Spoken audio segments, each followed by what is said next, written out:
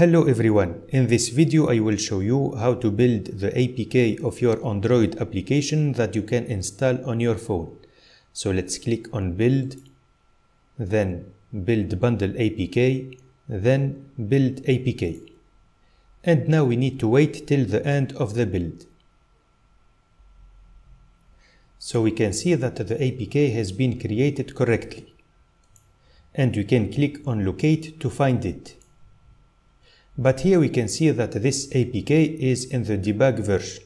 Now I will show you how to create the release version of the APK. So we have just to click on build, then select build variant. And here we need to change the build variant of our project. So here let's select release. And we need to wait few seconds till the end of the Gradle synchronization. And now to hide this area, we have just to click on this tab. Now let's click on build, then build bundle APK, then build APK. And now the release version of the APK has been created correctly. So let's click on locate.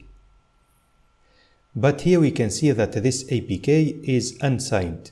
Now I will show you how to create the signed version of your APK.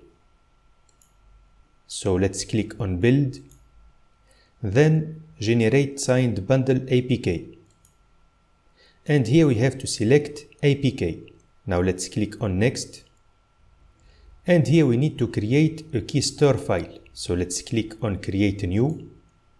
Then here we need to provide the path of the key store file. So let's click on this button. So here I need to create a new folder on documents. So let's find the documents folder. And now let's create a new folder under this folder.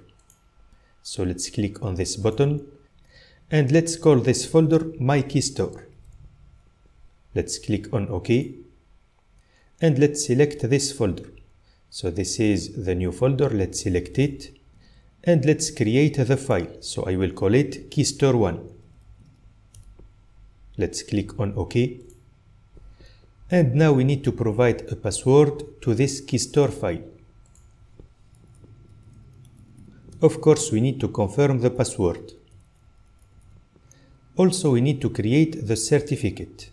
So let's provide a name to this key so we can accept this alias which is key 0 or also we can change this name. So in my case I will accept this name. Also I need to provide a password to this key. So here we can accept this validity duration and now we need to complete this form.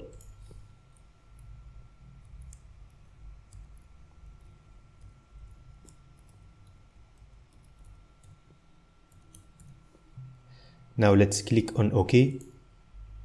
Then next. And let's select the release version. Then finish. And now the signed version of our APK has been created correctly. So let's click on locate.